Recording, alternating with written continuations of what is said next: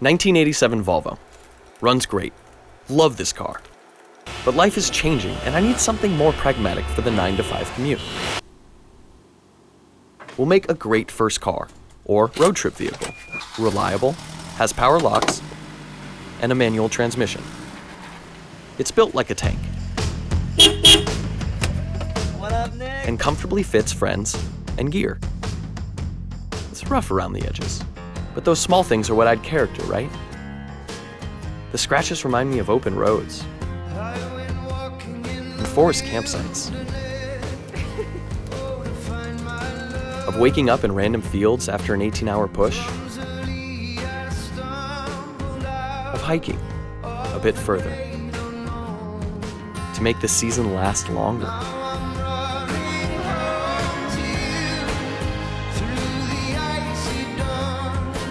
Of chasing snow into spring after winters that would not end.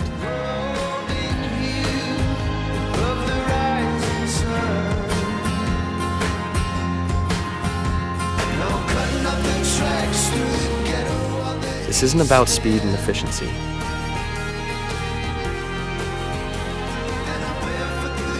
It isn't about a commute. It isn't about compromise.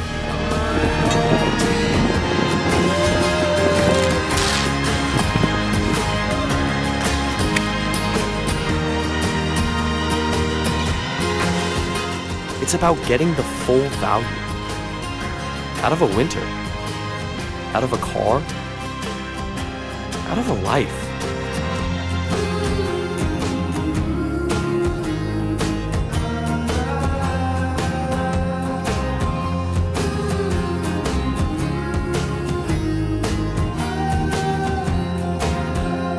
It's about where you've gone and where you're going and what you've seen along the way.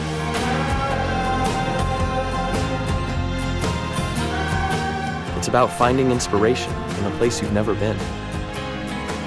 Appreciating those small things. A tank of gas. A friend riding shotgun. And sunshine after a long winter.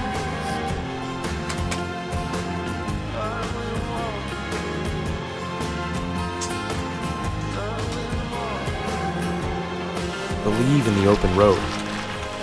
I did.